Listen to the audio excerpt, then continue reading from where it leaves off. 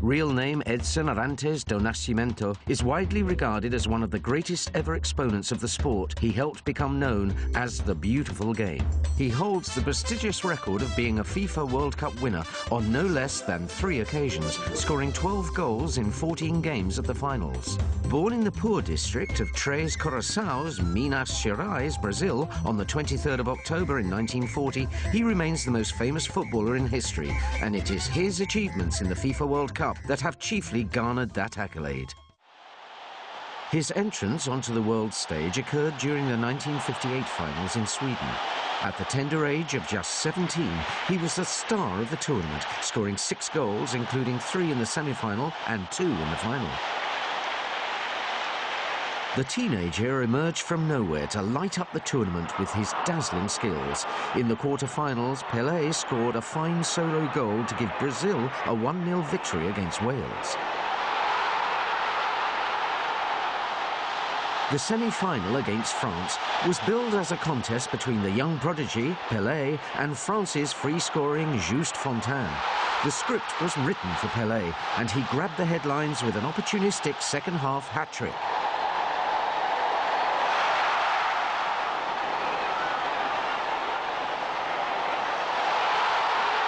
Pelé's goals in a comprehensive 5-2 win guided Brazil to the final, where they faced the hosts Sweden. Stockholm was the venue, and the stage was set for Pelé to prove his status as the young prodigy.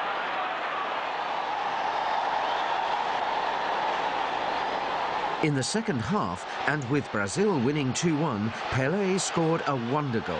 He produced a magical piece of skill before providing the finishing touch without doubt a defining moment in FIFA World Cup history. In the final minute of the match, Pelé scored his second goal with a looping header. Brazil won 5-2, and with it came their first FIFA World Cup triumph.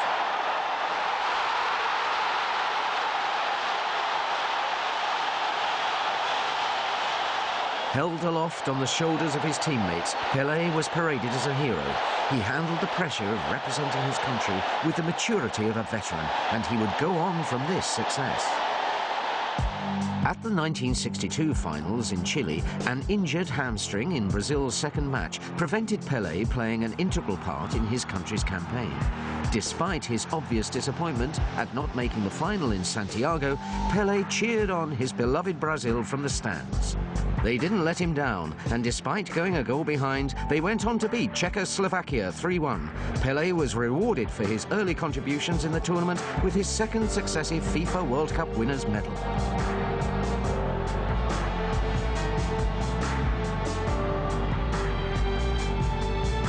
The 1966 tournament in England, Pelé was the victim of some severe and unsavoury tackling from opposing players. He was heavily fouled in Brazil's third group match against Portugal and was eventually forced to leave the pitch. With Pelé battered and bruised, Portugal won the match 3-1 and Brazil went out of the tournament. In successive finals, the world was once again robbed of the great man's talents.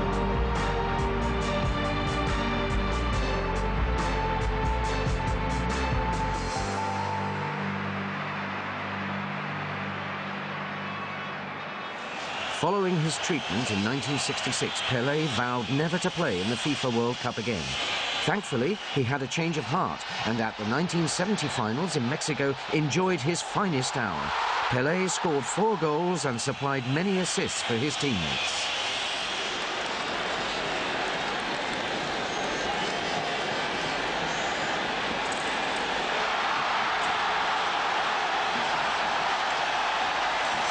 Despite his goals, the strongest memories of Pelé in 1970 were probably his near misses. A shot from the halfway line against Czechoslovakia that just missed the post, and his dummy around the Uruguayan goalkeeper remain two of the FIFA World Cup's most seminal moments.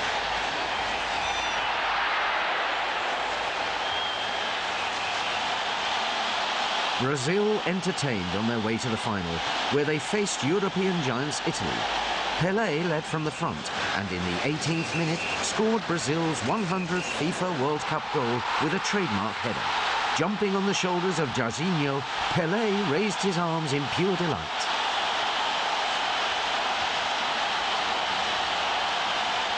The last goal of this deciding game, which was Pelé's last FIFA World Cup match, was memorable. Pelé was involved in two of the nine passes that preceded Carlos Alberto's goal.